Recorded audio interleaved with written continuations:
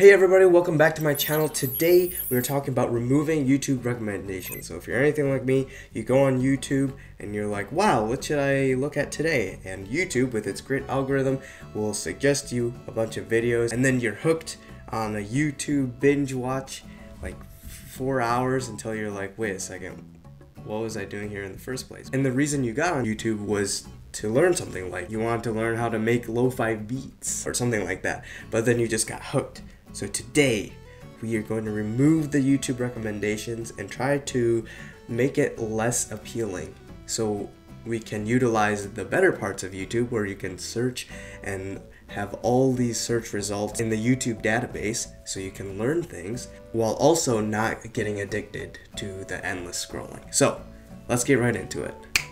Alright, I'm back at it with this setup, so let me switch to here. So what we're to do first is I'm actually to include in the description down below the link to this uh, extension, which is unhook, unhook, remove YouTube recommended videos. So go to this. Okay, so what we're to do now is we're to add this to Chrome. It's going to remove recommended videos and there's so many other things that we're to explore. So let's let's do it right now. I'm to add extension. I need to block that. Alright, so now it's saying hi. Okay, you installed this. Okay, cool. Now let's go to YouTube. Alright, here we go. Okay, so let's go to the YouTube recommendations right here. We're gonna look at our, this is the screen that we get when we open that extension up. Okay, so the first thing you see here is probably the best feature.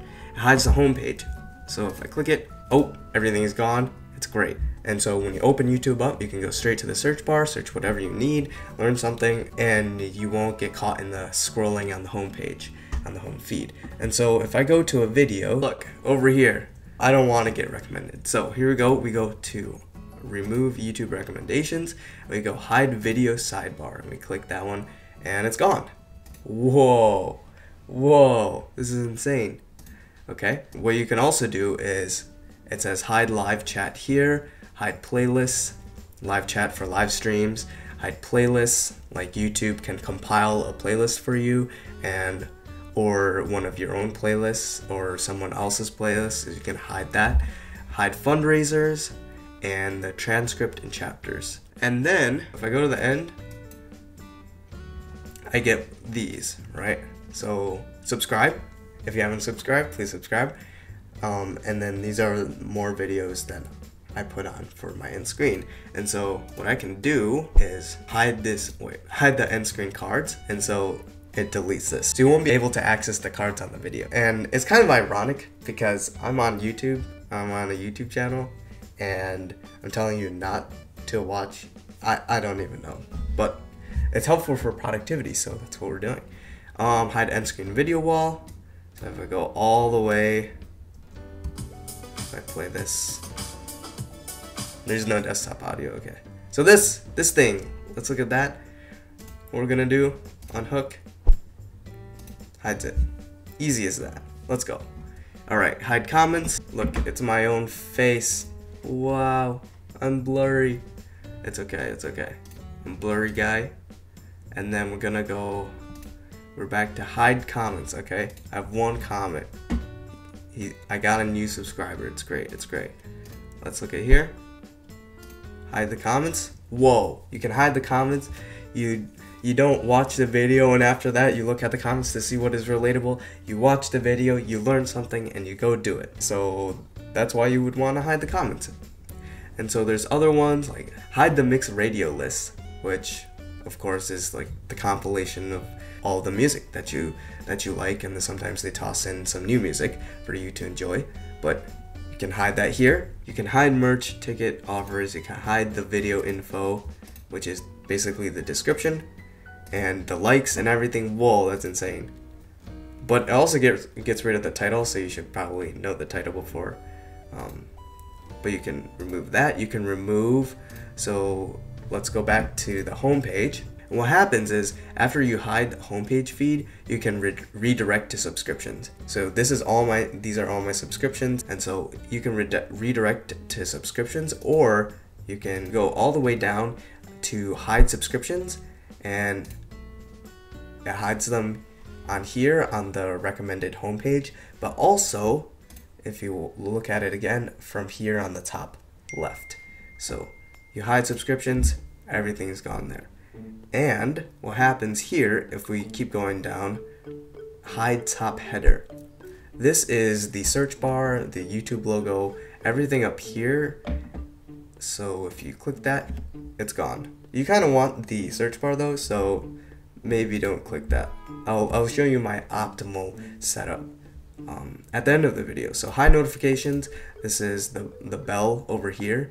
That is no notifications, you know, YouTube channels are like, click the bell for notifications. You, you guys should too. But then I'm telling you to delete it. This video is just ironic. I don't even know. Okay, hide the left sidebar extra. So it's this sidebar on the left right here. So more from YouTube, YouTube Premium movie shows. Those are extra things that you don't really need. I don't really use it on a daily basis when I'm using YouTube. So hide the extra stuff and then hide in-app search results. I don't really know what this feature does, so I'm not to use it. Hide trending and explore. Explore is on the left over here, and so I don't really use it, but so I guess that's why I'm to hide it. So now this left sidebar is only left to here because my subscriptions were deleted by the left sidebar extra. So they're gone there. Maybe you want to turn it on if you want to see your subs, but that is your choice. Okay, what is next? What is next? Disable autoplay. Of course, autoplay is when you reach the end of the video and then YouTube suggests another video and says, oh, we're going to play this in 7 seconds, and then you have like 7 seconds to cancel. So this will disable it. Yay! That's what it is. Disable annotations. Um, annotations aren't really mainstream anymore on the YouTube platform, but you can do that also and disable playlists. And that's all. Cool. So, my ideal setup. So my ideal setup is so I'll hide everything here. I want that top header. I'm not gonna hide everything. Um, hide notifications. And let's see, let's see, let's see. Hide subs. I don't really know if I want subs or not. So it's kind of up to you. I'm gonna say I don't want it. All I want is the search bar. I want to search something, I want to learn something, and then quickly get out of there without getting hooked by a video, thumbnail, title, anything else. So that's what I want to do. And yeah, this is my ideal setup right here. That would conclude this video. This is how you remove recommendations and I hope if you are getting too distracted by YouTube, going on YouTube, doing any like binge watching sprees on YouTube, uh, content aggregation, then I highly recommend this. Other than that, that's the end of the video. I'll see you later.